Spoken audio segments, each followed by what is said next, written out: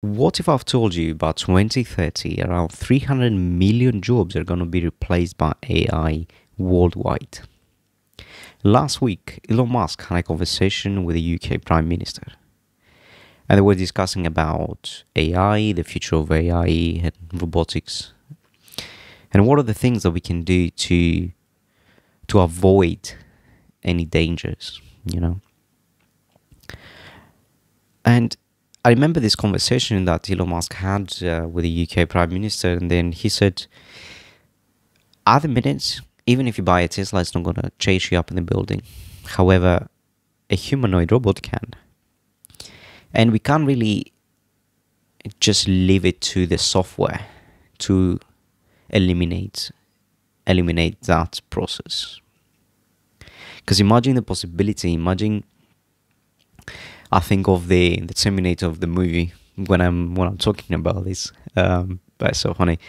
But imagine the possibility of the robot taking over his its own network, because that's all it is. It's a program. It's a it's a software that is running on the back end. You know, and they said we need to have some sort of referee, an off switch, a manual off switch. And at the minute, I think at the minute I think this is the best the best that we can do and what this means for the jobs you know what what kind of jobs are gonna be replaced. And i think th- then they said we'll come to a point that when no jobs are needed at all because ai will do everything for you. And that should scare you. That should scare you right now knowing 2030 because since you know this information now you need to take action. You need to adapt. And and if you have a business, you need to pivot.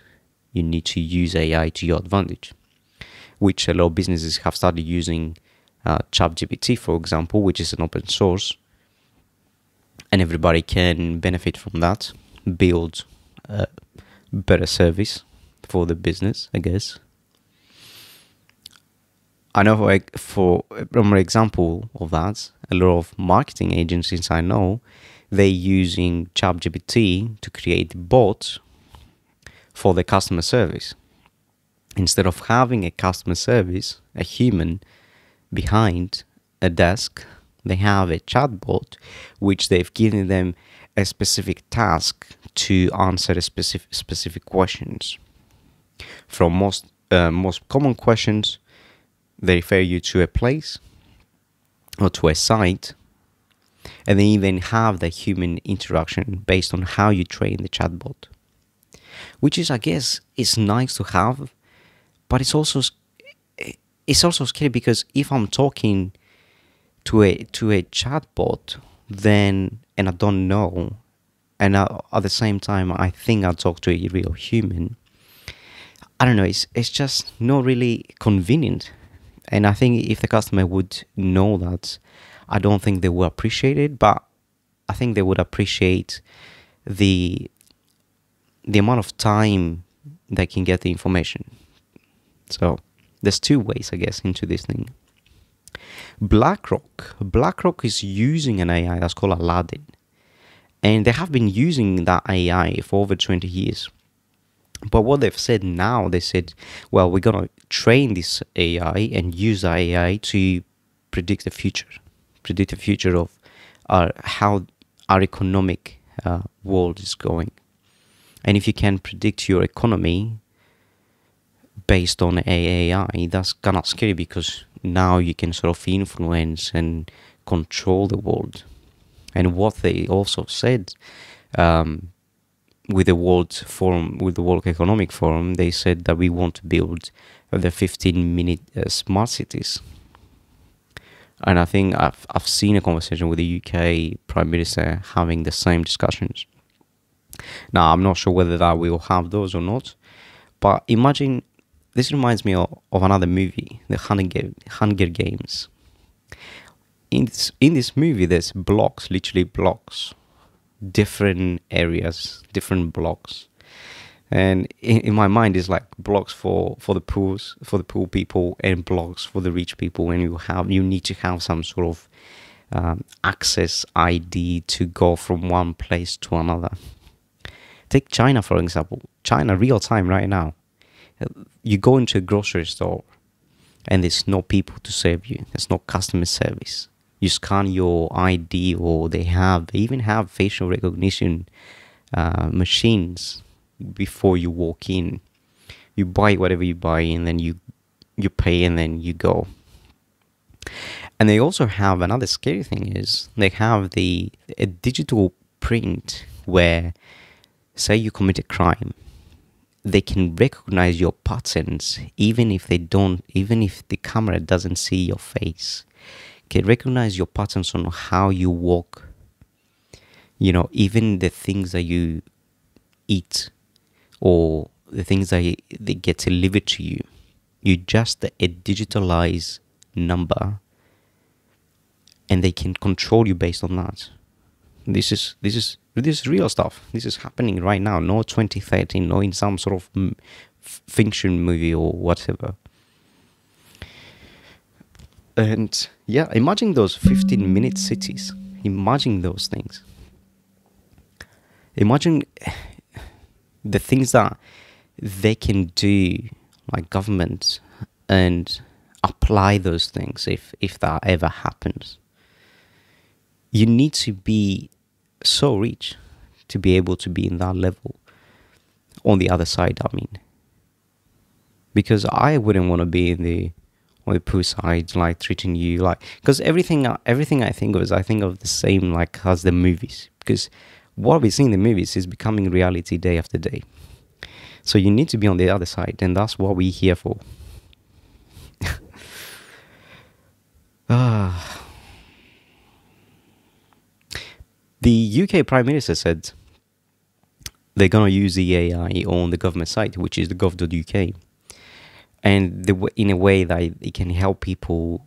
And because you can do all sort of things in the government sites, uh, from applying to a driver license to, I don't know, um, establishing your business online and all that, registering your business. And what this means for businesses, you know, we've seen like Facebook, for example, uh, not Facebook, sorry, YouTube, for example. You see so many faceless YouTube channels. They make a lot of money, and they've used the opportunity when ChatGPT was really hot. And all they do, they take a script. They ask ChatGPT to write them a script. That's how it works. And say, for example, give me the top five laptops for 2023 with the best aspects, hardware aspects, whatever, for students. Because now we have an ideal audience that we can uh, sell that for.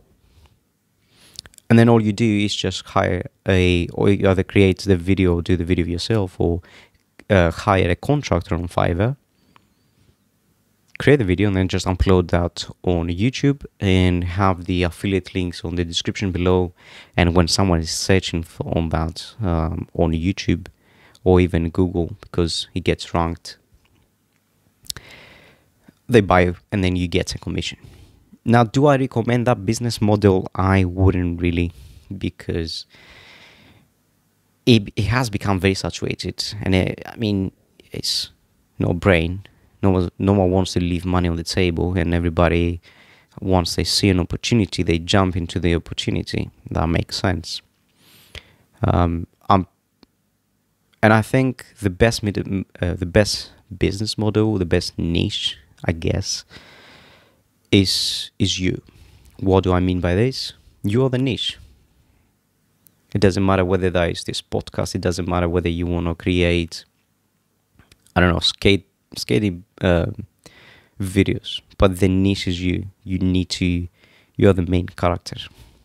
And my aim for this channel as well is to to create and build a relationship as if you were sat right next to me and have a have a chat. This is this is what I'm aiming for. I know I'm very into very early into into this, but this is the end goal. You know. Have you seen this video that's gone viral? There's an AI video. There's like a car that is on fire, and there's a crane ball that's swinging back and forth.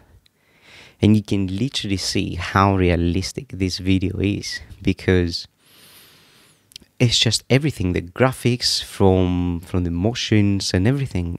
And i think elon musk is creating another software where you can imitate other people's faces and other people's voices.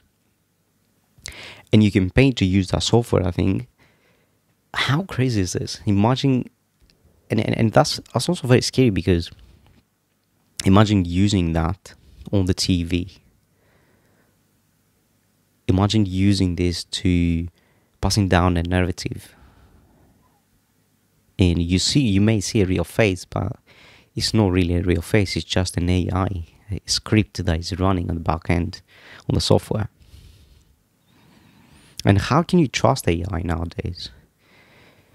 Because this is the thing especially nowadays that all the attention has gone from the TV and from radios to podcast and YouTube and Twitter, social media in general. You know, you need to be more and more um, careful on what to believe and who to pay attention to and be influenced by.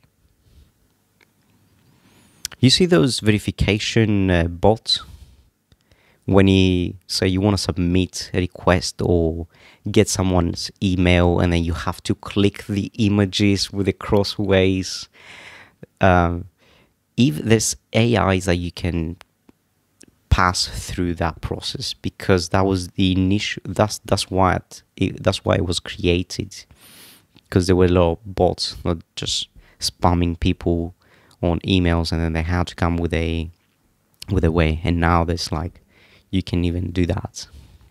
How crazy is this? You know?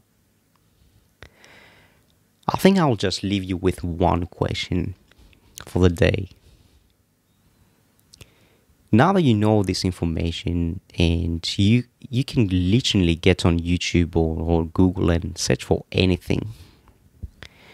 If you had to change yourself and if you had to build a future, what would it take? No excuses. What would it take for you to build a future in five, ten years from now?